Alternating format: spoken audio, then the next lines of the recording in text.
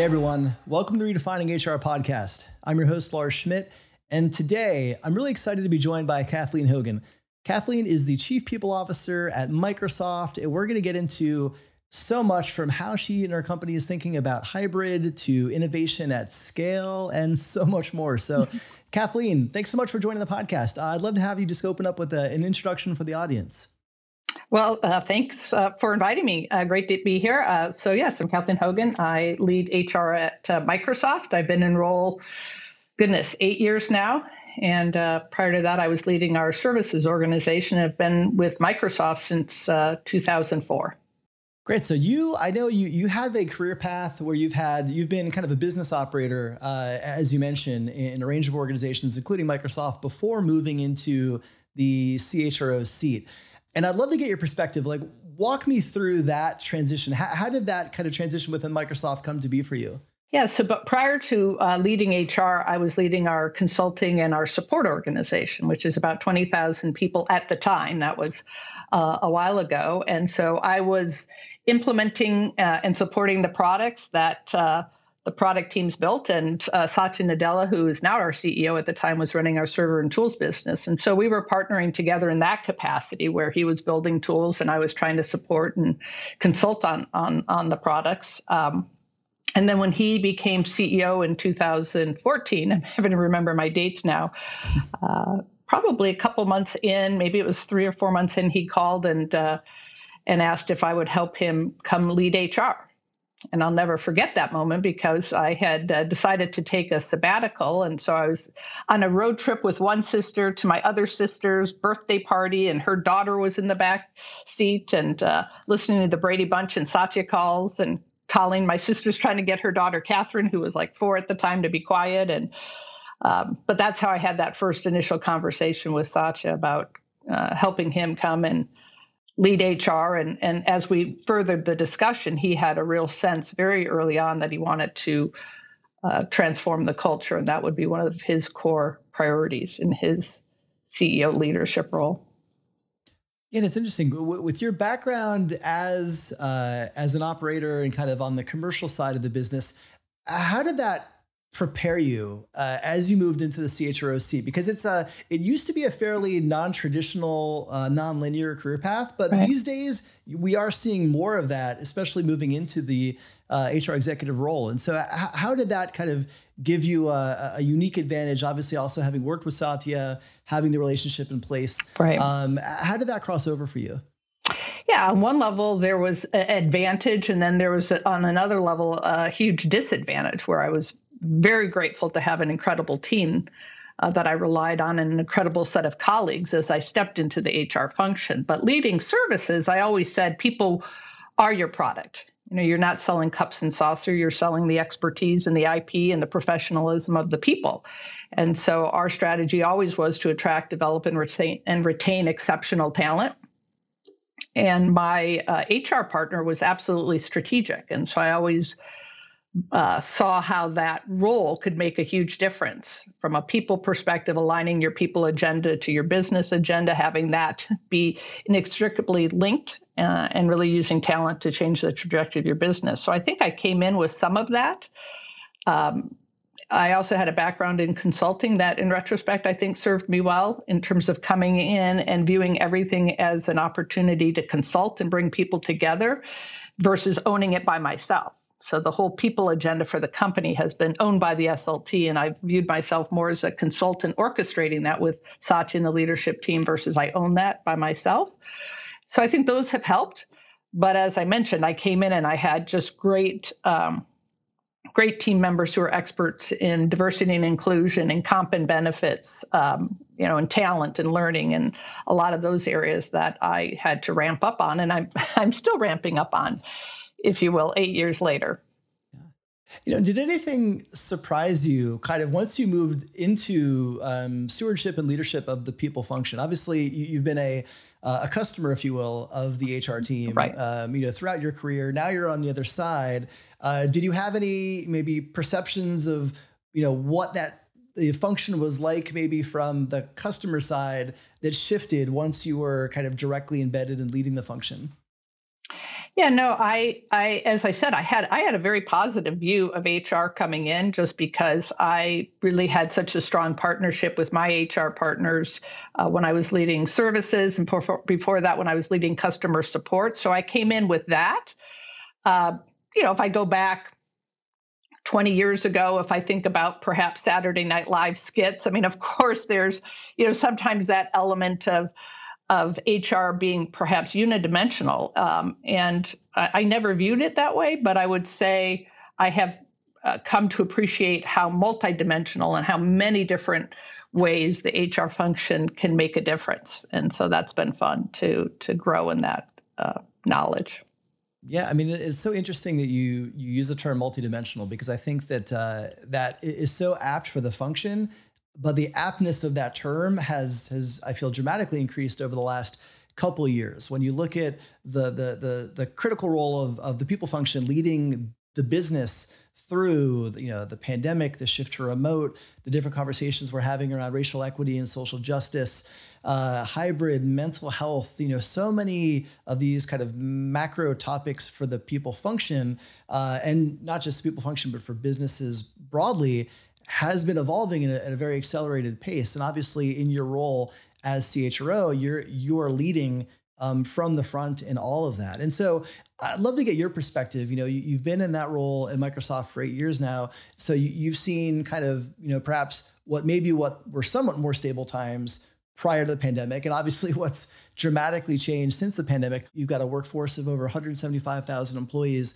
Uh, how do you see kind of your role in helping navigate, you know, both the business uh, and the and the employees and the team, you know, through all of these events? Well, I think the role is. Uh, I mean, on one level, how do I see my role? I see my role in, in some ways very, um, very focused on having a, a great employee experience and making sure back to what I talked about before, the ability to attract, develop, and retain exceptional talent. But doing that in, in real partnership with the SLT. Because if you look at what we've tried to, or what we've navigated, COVID, you know, trying to navigate COVID by by any function by itself would have been foolish. We quickly got on a call and realized as an SLT, we started meeting daily to really navigate COVID. If you think about uh, addressing racial injustice, you know, we put together a plan that, of course, is focused on first having diversity and inclusion and representation within Microsoft, but then how do we use our platform with our suppliers? How do we use our platform from a policy perspective? What are different elements of that agenda that make it partially about HR, but ultimately, it's I, I think it's a shared responsibility with the SLT. So you know maybe on that dimension we still have to focus on world class benefits. We still have to focus on recruiting. We still are focused on um, you know compensation all those key elements. And i think more and more we're part of these cross leadership um, teams trying to solve these um, challenges that really cut across the company and use all of our different functions to really um, serve our employees and, and to, to solve the problem, if you will. Yeah, and I mean it is interesting too because I think the obviously the your role as CHRO, the the people team's role broadly within the organization, you know, it is to support but also work in collaboration with the SLT and even with the the employees and the teams to support a lot of these initiatives. We'll help develop the frameworks, but you know, it's not a matter of HR necessarily owning all of these areas. And one of uh, those components, I think, gets us into hybrid, which I know it's a, a piece, a topic you've written a lot about. Um, you had a great piece, uh, I think, late last year around the importance of supporting managers to make hybrid work. And obviously, that's a skill set that you know managers who've historically have worked in co-located environments you know that doesn't just port that skill doesn't port automatically to, to managing remote teams. And so it requires development. And i'd love to get your perspectives. When you think about the ingredients of, of getting hybrid right since that seems to be a default operating model for many companies these days what does that look like? How, should companies be prioritizing kind of the different components of hybrid uh, in order to create a successful employee experience? We I certainly have a point of view now, but I'd also say I think there's going to be a lot that we're going to learn. And uh, that point of view, I, I, assume, will continue to evolve just because I think we're in the throes of it. But I will say back in October of 2020, maybe six months into COVID, there was a huge push from certain folks to say, hey, come out with a thought leadership stance that says we're going to work from home forever, right? That if people want to, they have that ability. And I think part of that push was people making personal decisions and wanting that clarity and that definitive tops down support for that. But in my mind, uh, that wasn't going to be where we ended up. Uh, and I think we really stared at that and said, there's no way we're going to go back to the way it was. We broke open flexibility and, and it's really exciting. And yet, I don't think we wanted to stay with this 100% remote, and never being in person. There's a sense that po- possibly, you know, we're on borrowed time in terms of leveraging our culture and all the things that we had invested in. But we were onboarding, you know, 15,000 people remote. I think year in the last two years we've onboarded 60,000 people and who've never perhaps met their manager, never been in person. And so, as we've thought about the uh, the hybrid model going forward, um, we've really thought about several things. One is having this growth mindset. You know, we've grounded our culture in a growth mindset, but this notion of constantly challenging your fixed mindset. I remember when we first said um, we had a board meeting in March when COVID was start first hitting, and we said we're going to work from home, and it's important that the entire leadership team work from home to role model because if we're going to tell everybody to work from home, we've got to role model that. And I think at the time, if you had said to me, we're going to do this for two years, you know, my fixed mindset would have said, there's no way. You know, we're not, we can't hire this many people remote. We can't onboard this many people without uh, ever being in person. And yet somehow we've done it. So I think it, it, you know, one of the things we've learned over the last two years is really challenging that fixed mindset, having that growth mindset. We really believe the role of the manager is going to be key. You know, for us, instead of coming out with a tops down, everybody can work from home or some sort of one dimensional mandate, we said it's going to depend. You know, we have certain folks that don't have the luxury of working from home, they're uh, on site. Uh, we have other roles that maybe you could be on site a couple days a week. Other roles, maybe you only have to be on site once a month. It really depends. And so we really said, let's empower each team to establish the team norms. Um, but try to provide as much flexibility as possible. You know, I think back when I was working 20 years ago, you know, the notion that I would have said, hey, could you just at least have all the meetings in the morning so I have flexibility in the afternoon? Or could you just schedule your meetings on Monday, Tuesday so that then I could work from home Wednesday, Thursday, Friday? I mean, I can't, I couldn't imagine asking for that. But now I think people get to. And, and we should try to do that. Why not? Why wouldn't we try to provide as much flexibility as possible while still investing in those moments together when we do need to be together? So I think the role of the manager and those team norms is going to be key. And then I think also the last piece of the puzzle, I think, is employees. You know, as much as they're asking their managers and their teams to provide as much flexibility as possible, it's the other side of the equation where the employee is also saying, where do I need to compromise for the team? Right? Because if everybody says, hey, I'm going to pick Monday not to work, I'm going to pick Tuesday, I'm going to pick Wednesday, and, and, and we can never get the team together, that's not the right thing for the team either. Yeah, you know, it's so interesting uh, as you describe that, and I think about the the complexity of of you know your environment and the way that your team has to navigate things like flexibility across uh, an employee population of over 175,000 that's not uh, an insignificant uh, amount of variables to kind of be navigating. Yeah. And, and, I'm curious, like, how, how do you, when you think about innovation kind of on the people side of, of the programs that you're building, and, and obviously, you know, with Satya bringing you in initially and, and tasked with the idea of like, let's just create a magical, uh, fantastic employee experience. Hmm how do you how do you think about innovating some of these programs at the scale that you operate? Like i'm just i'm fascinated to learn kind of how you whether it's you know hybrid workplace flexibility uh, could be four day work weeks you know there's so many different programs i think that are on the table right now as we're talking about designing this new world of work. Um, how do you think about you know navigating all those choices at the scale you operate certainly, two things we've really focused on as anchors is our culture, you know, really defining our culture, and then also our mission. And so we talk about those as our bookends, you know, that mission and being really purpose driven and really being clear on the why. You know, why is why are people working at Microsoft? You know, and, and our mission is about empowering others. Um, and the how is via this culture, being a growth or having a growth mindset, being diverse and inclusive, showing up as one Microsoft, and then you know really being customer obsessed. And so we talk a lot about the um, the mission and the culture. But then, since you asked the question, it's going to sound somewhat self-serving, but I think it's really true. Is the other thing that's really empowering us, allowing us to be empowered at scale, is our technology. And so, really investing in you know things like teams and our ability to have this hybrid work you know, having world class technology where some people can be in the room, some people can be remote. We're using uh, hands, we're using chat, we're using pull, pull, we're using all of these features so that uh, ideally everybody feels inclusive.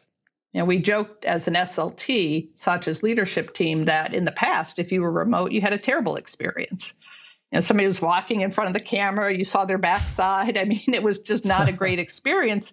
We just weren't as aware, as empathetic, as intentional as I think the last two years, hopefully, have made us by all of us being remote. And hopefully, we've all gained, I think, new, inclusive, good team hygiene meeting skills that the key now is to not lose those when everybody's remote but take those forward and, and create something even better from a team management perspective when you're in hybrid. And so we believe it's culture, it's the mission, it's the people, but also we do believe that that technology uh, can really uh, empower those experiences. And that digital experience for our employees is as important now, in some cases, even more so than the physical experience, especially as more and more people uh, have that hybrid or fully remote experience.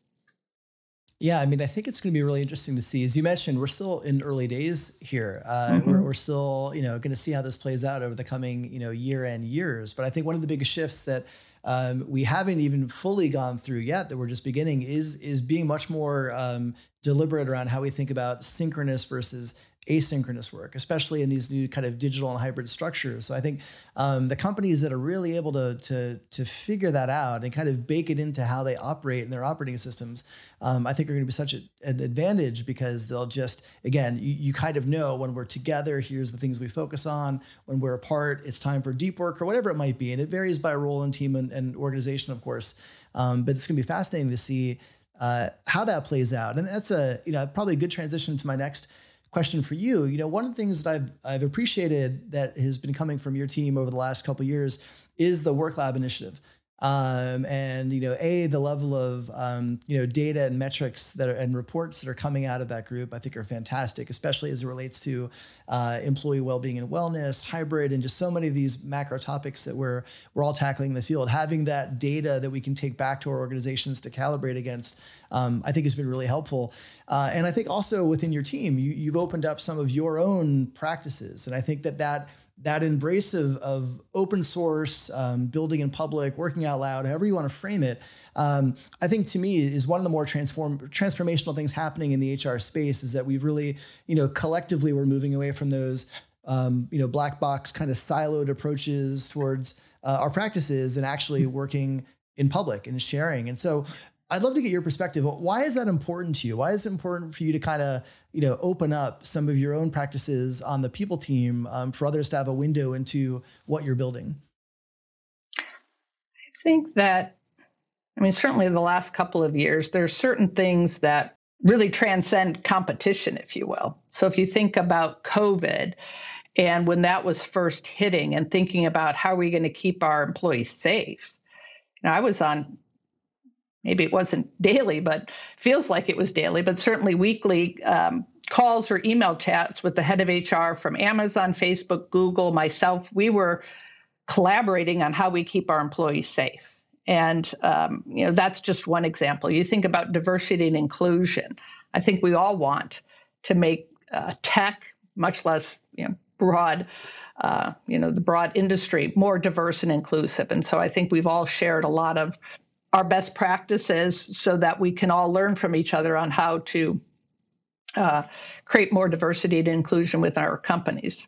Even manager, right? We came up with uh, something we really love at Microsoft, which is our model for managers which is three things model, coach, care. You know, the role of a manager is to role model the culture, role model our leadership principles. The role of the manager is to coach, not just inspect, but really coach and bring out the best in others. And then ultimately to care. You think about the last two years, really not being somebody's best friend, but caring to help somebody navigate working from home with kids at home or dealing with a um, a loved one who was facing COVID or dealing with isolation because they had moved and joined Microsoft but couldn't come on campus. All those things that the manager played such a key role.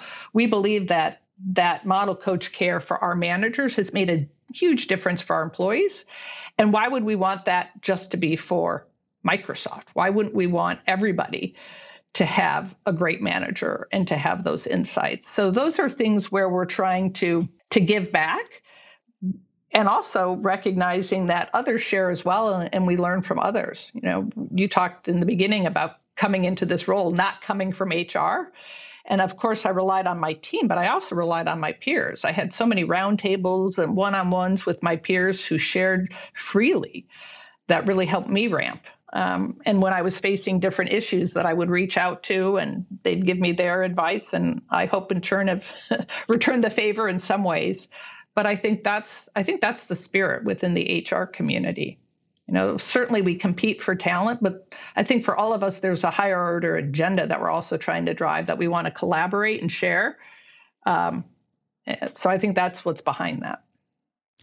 Yeah, you know, I'm I'm glad you touched on that network piece as well because I think to me um, they really go hand in hand, right? The the the network equity and collaboration that's happening at a peer to peer level, particularly at the HR executive level, uh, and then the open source practice sharing kind of up and down the HR teams. It allows us to innovate so much more quickly. Um, and I think, again, when you kind of compare that to more of the, you know, legacy proprietary mindset of HR's past, it's a huge shift from that, but it's also a huge catalyst to moving the entire field forward. So, um, yeah, definitely interesting to, to, get your perspective there. And I think uh, particularly at, at the peer sharing level, um, that's been instrumental uh, going through just the pandemic. And I think so much of what we've experienced over the last couple of years.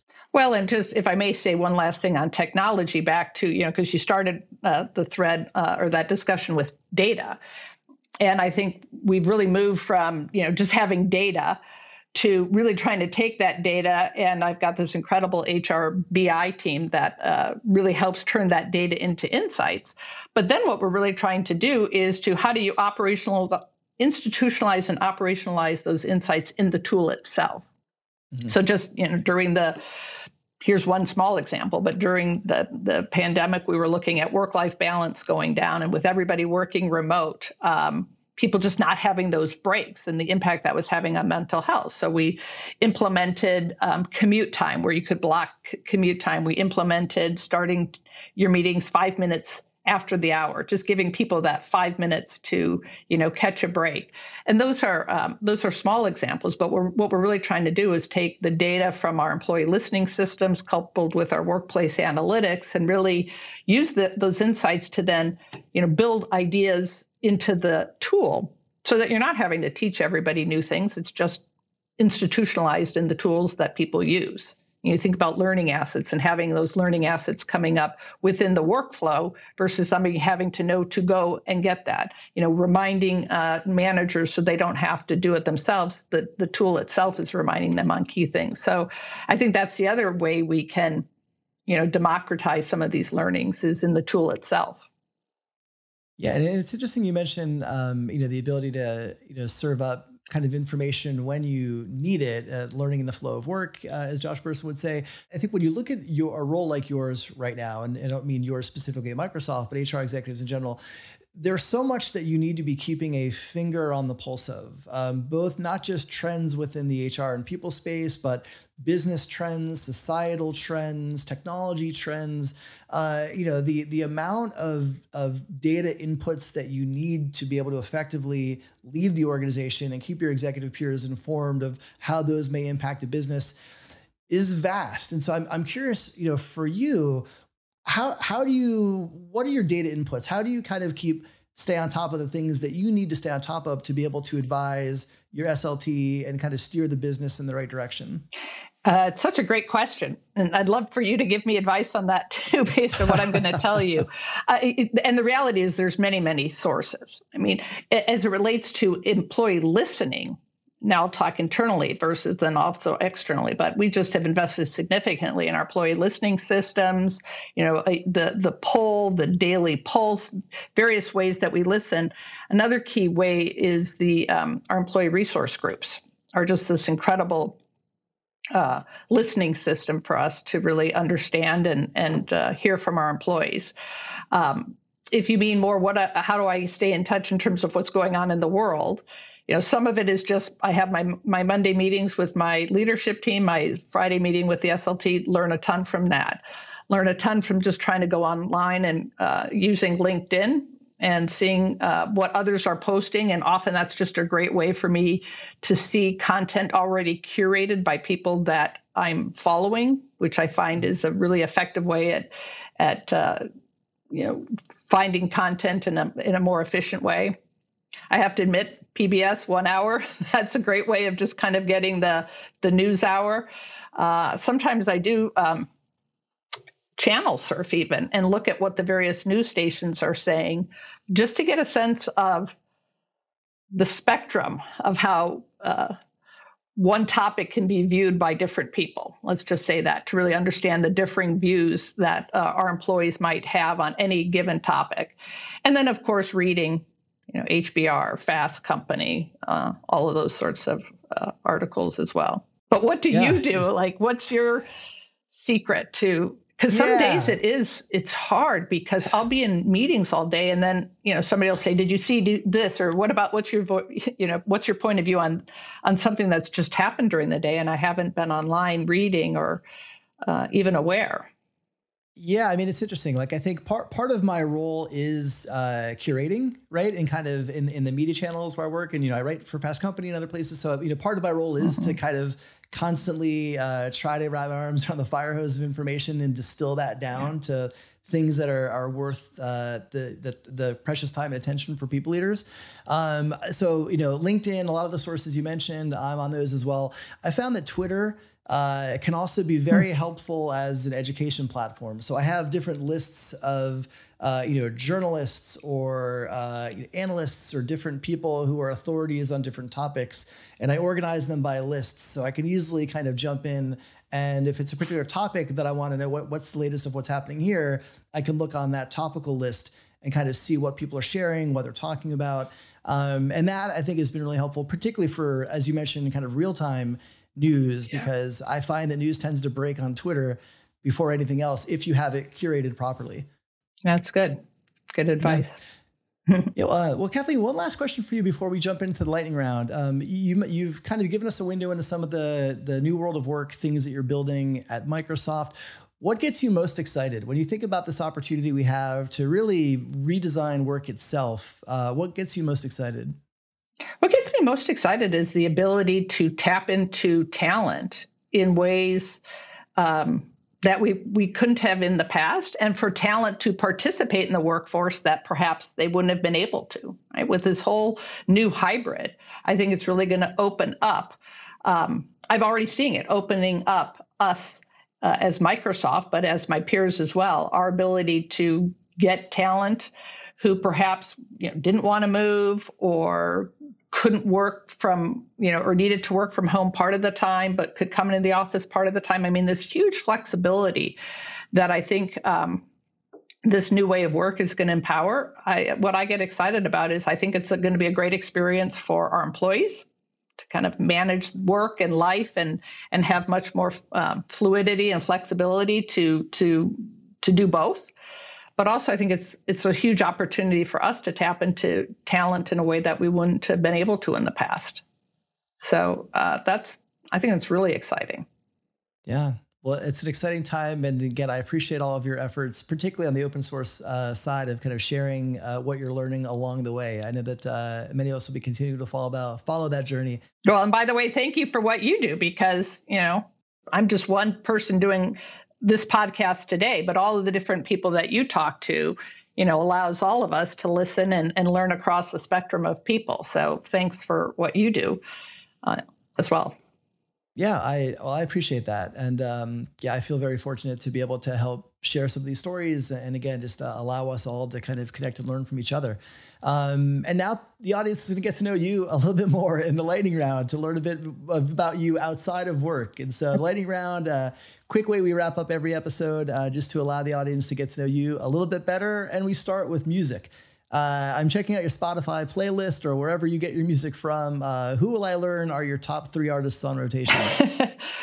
well, and here, if you really want to get to know me, the reality is I don't really listen to a lot of music, so that's just not a big focus. You know, I, I so if I'm honest, I don't have a top three. The only thing I could share is that when Meatloaf died recently, given I grew up uh, when he in my high school years was it was really big. I would say I, I sort of binged on on Meatloaf in the last couple of months, but uh, I don't really have a, a music pay- playlist if I'm honest.